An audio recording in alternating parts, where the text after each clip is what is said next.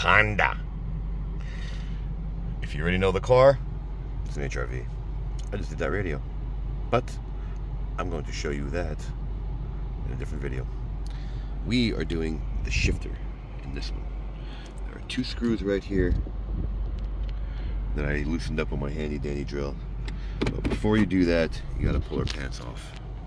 Gotta pull this guy down with a tool, which is part of my repertoire, and you should need it too. You should get it too, right between the crack, and you can pull it down right between the crack, and it unclips.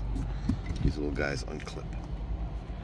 You see these little teeth right here under my finger. Which I gotta cut my fingernails. See that? Put it in park. I mean, put it in drive. Get the two screws, loosen them up, and I'll show you that it comes off. Put it back on. Put the two, two screws back. These guys. Line them up. Tighten them up. And like it, don't like it, share, don't share, subscribe, don't subscribe. Thanks for watching.